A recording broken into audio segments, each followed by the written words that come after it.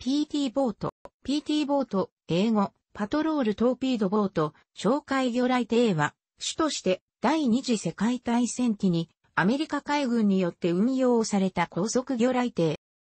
全長20メートル、排水量50トン程度の木製の船体に航空機用エンジンをデチューンして搭載し、40ノット、約時速 70km 以上の高速を誇る。魚雷や機銃や機関砲、さらには対戦車砲も搭載する方もあり、排水量あたりではかなりの重武装である。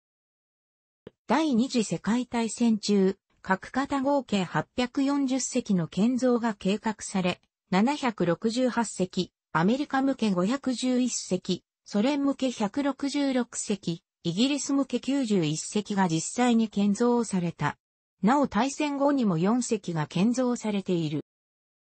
PT ボートは、ありと、あらゆる任務を想定して製造された。日本の輸送船団攻撃によく使われた。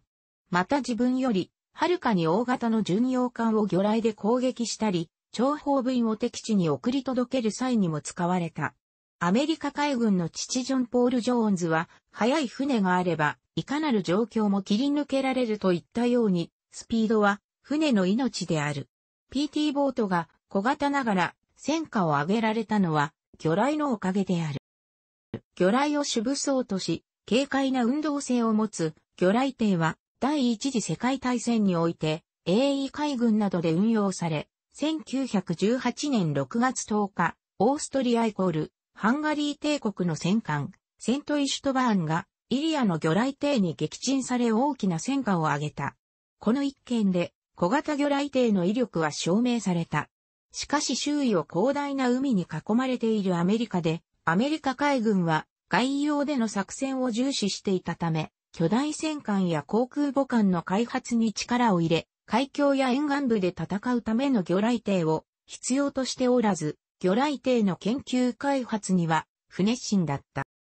1920年から1930年代にかけてアメリカではスピードを競うことが最高の娯楽だった。水面を高速で駆け抜けるモーターボートのレースには大勢の観客が詰めかけた。このモーターボートに使われた技術が後の PT ボートに取り入れられるようになる。数とのイギリス人がモーターボートレースに革命を起こした。男の名は、ヒューバート・スコット・ペイン。時代を先取りした、ボート、ミスブリテン3号で、レースに出場した。しかし惜しくもアメリカ人のガーウッドに敗れてしまった。スコット・ペインやガーウッドのボートは時速 180km 以上の速度が出せた。PT ボートを設計する際、これらの船が参考になった。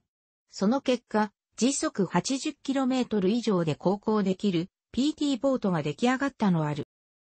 1930年代後半に入り、欧州での緊張が高まると、イギリス海軍の MTB やドイツ海軍の S ボートといった各国の魚雷艇の整備が伝えられるようになった。また、1931年9月、日本が満州を占領し、極東で緊張が高まる対日関係の悪化からフィリピン諸島を中心とする太平洋地域の防備を強化するため、高速の攻撃用魚雷艇の配備を進めるべきだと意見も強くなった。これらを受け、アメリカ海軍は魚雷艇に PT の類別コードを与え、正式にその整備に乗り出すこととした。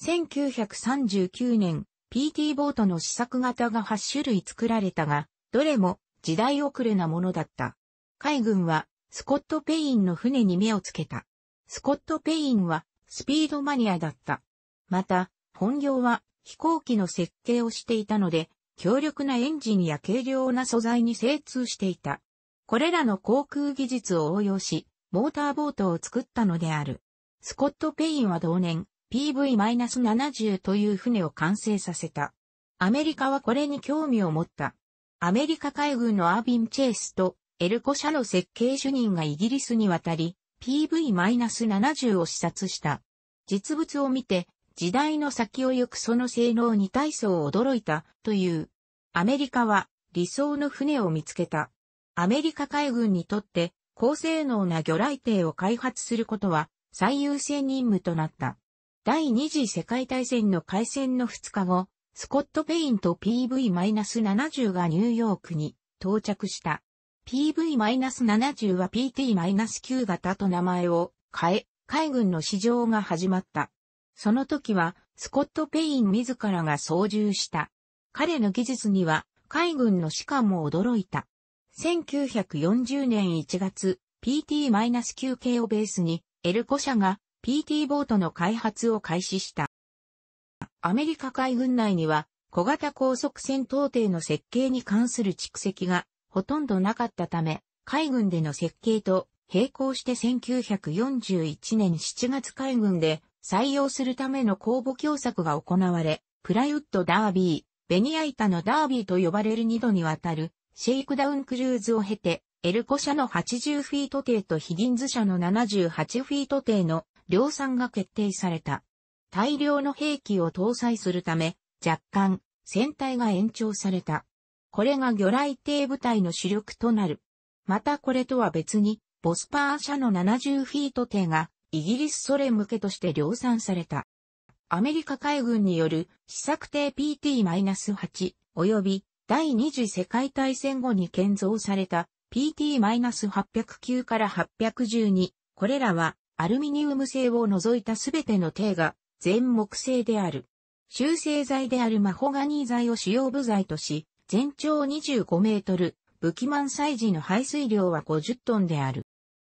船体のマホガニー材は二重や割粘りの間に水漏れを防ぐために耐水性の接着剤を浸した航空機用キャラコを挟み、50万個近いネジを使って覆う構造であった。これにより十分な強度を得た。第二次大戦中のアメリカ海軍向け量産艇は、すべて航空機用エンジンとして開発された。パッカードのを白用に改良した 4M-2500 を3機搭載し、各機一軸を駆動する三軸推進だった。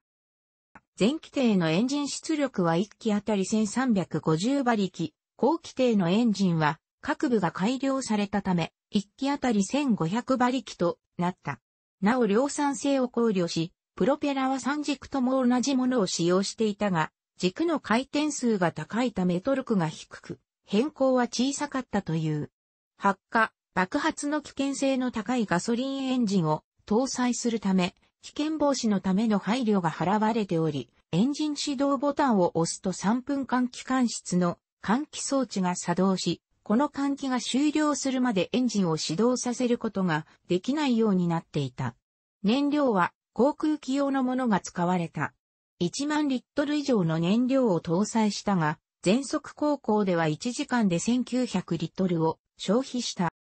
なお、PT-8 は2000馬力のアリソン製、エンジン2機と550馬力のホールスコット社製、エンジン1機を PT-809 から812は4機の 4M-2500 を搭載していた。イギリス向けのボスパー70フィート艇は900馬力のホールスコット社製エンジン3機を搭載した。魚雷艇の主兵装はその名の通り魚雷である。初期の PT ボートは MK8 魚雷を発射する単装魚雷発射管を4機装備していた。しかし、魚雷発射管の不調で発射がうまくいかない事例が多発したこと、また発射時に潤滑油が発火し、野戦での隠密性を損なうことなどが嫌われ、1943年中頃から航空用の MK13 魚雷と魚雷落ち射機の組み合わせを4機装備するようになった。戦局の進展により、PT ボートの主敵が大型艦船から終艇に移り変わると、方向並走を強化し、その代償として、魚雷発射艦、落ち射機を2機に半減した艇も多かった。また、PT ボートは爆雷を搭載可能であった。これは当然対戦任務を想定して装備されたものだったが、ソナーを装備しない PT ボートでは、対戦任務での有効な運用は難しかった。しかし、水上戦闘時に敵艦艇に追尾された際、逃走航路上に爆雷を投下して、追跡を妨害するのには役に立ったという。対戦後期には一部の艇が前投げ式の対戦兵器であるマウストラップを装備した。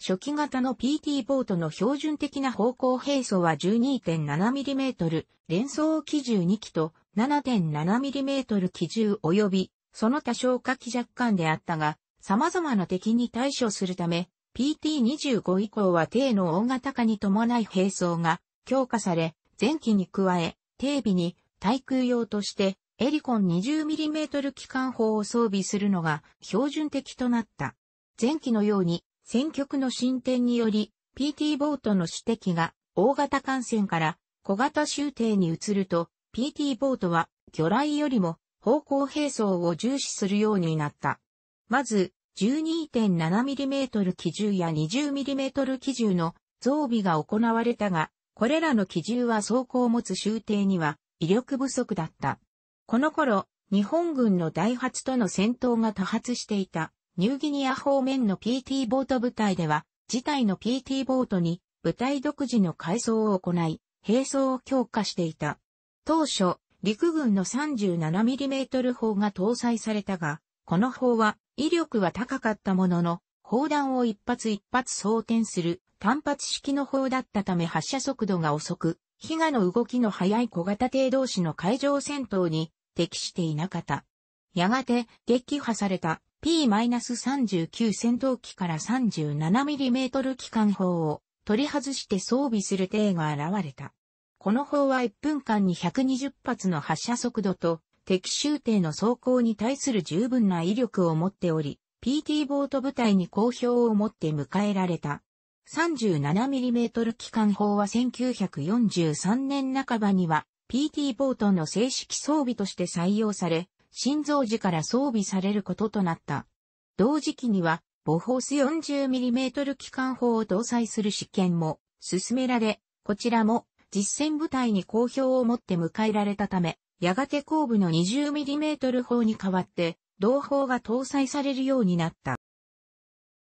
PT ボートにはこのほか迫撃砲やロケット弾を搭載するものがあった。迫撃砲はジャングルでの陸上戦闘支援の際、植物の密生する茂み越しではなく、小杖から弾着させることができ、効果的だったという。また、耐水上戦闘では照明弾の打ち上げに使用された。ロケット弾は当初4.5インチロケット弾の12連装発射化2機が搭載されていたが、これは後に5インチロケット弾の8連装発射化2機に換装された。なお、PT ボートの対空火力強化を目的にエルコ社がサンダーボルトという名の動力砲画を開発している。これは電動の砲画に 20mm エリコン機関砲を4門水平装備し、さらにその両脇に 12.7mm 機銃を1門ずつ並べたもので、照準は MK14 による。サンダーボルトは発射速度は高かったものの、水上、陸上目標に対して用いるには弾丸一発一発の威力が高くなかったため、広く採用されるには至らなかった。また、火力の強化を目的に 75mm 砲の試験搭載やバズーカを6機装備した人力発射化も試作も行われたが、どちらも実戦に投入されることはなかった。特筆すべきその他の並走として、レーダーと煙幕発生器が挙げられる。レーダーは特に夜間や悪天候時における PT ボートの索敵能力の向上に大いに寄与した。地中海でのドイツ州艇との野戦やスリガオ海峡海戦がその典型的な例である。当初は航空機レーダーを搭載していたが、やがて SO レーダーが装備されるようになった。煙幕発生機は戦闘海域からの離脱や損傷艇の援護に活用された。煙幕発生機は4塩化チタンを充填されたボンベで必要に応じて海上投棄が可能であった。太平洋戦争開戦時、太平洋戦域には3体の魚雷艇隊があった。ハワイ州真珠湾配備の第一魚雷艇隊、パナマ運河地帯配備の第二魚雷艇隊、そしてフィリピン配備の第三魚雷艇隊である。このうちハワイ州真珠湾配備の第一魚雷艇隊は、日本軍の真珠湾攻撃において奇襲攻撃の混乱の中で2名の隊員が日本軍機を機銃で撃墜した対戦初の戦果である。しかし爆撃で基地はやられ、補給は絶望的だった。どうやって生き延びるかということだけ考えていた。1941年12月、アメリカ海軍には29隻の PT ボートがあった。ベニアイタの脅威、レジャーヨット部隊と言われ馬鹿にされていた。海軍のほとんどは、あんな小型艇を軍艦と認めたくなかったのであろう。また、第二次大戦の前、海軍上層部は PT ボートの扱いに困っていた。補給任務にでも使えばいい、と考えたくらいである。しかし、第三魚雷艇隊は、フィリピンの戦いにおいて、防衛戦闘に従事し、直接的な戦果は上げえなかったものの、当初地域での戦闘における有効性を示した。またフィリピン防衛の指揮官であったダグラス・マッカーサーが、フィリピンから脱出する際動体の PT ボートを使用したことが、PT ボートの活用をマッカーサーに印象づけたとも言われる。日本軍がソロモン諸島、ニューギニアレーテ島などの各方面で連合国軍の航空優勢下に置いていったアリ輸送と呼ばれる大発動艇などの終艇を利用した物資輸送にとって PT ボートは天敵とも言える存在であり、その阻止に非常に有効であった。日本軍も武装した大発動艇や走行艇などで対抗を図ったが、機動性の違いから有効な対策とはなり得なかった。また同じ魚雷艇で対抗するには、日本軍の魚雷艇は、性能、数量とも十分ではなかった。このほか、PT ボートは、陸戦の支援や救難など様々な任務に投入された。杉川海峡海戦では、西村艦隊に第一撃をかけ、こちらも直接的戦果は小さかったが、石膏として果たした役割は大きかった。日本軍からは夜の悪魔として恐れられた。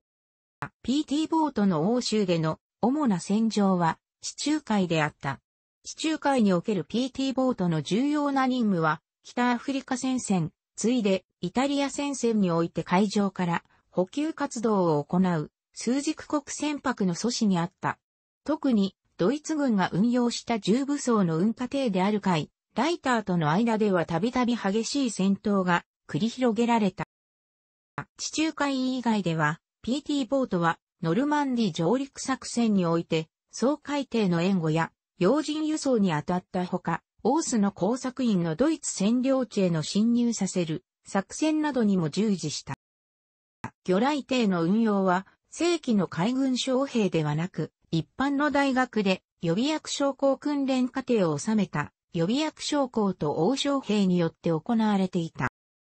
その中には、後のアメリカ合衆国大統領ジョン・カイ・ケネディもいた。ケネディはの艇長として、ソロモン諸島方面で紹介についていたが、1943年8月2日、ニュージョージア島西方のブラケット海峡で、コロンバンガラ島への輸送任務についていた日本海軍の駆逐艦天霧に衝突され、PT-109 は炎上、沈没してしまった。ケネディとその乗組員は近くの小島に漂着し、数日後に救助された。PT ボートの代表的な形式であるエルコ社製80フィート型の洋木。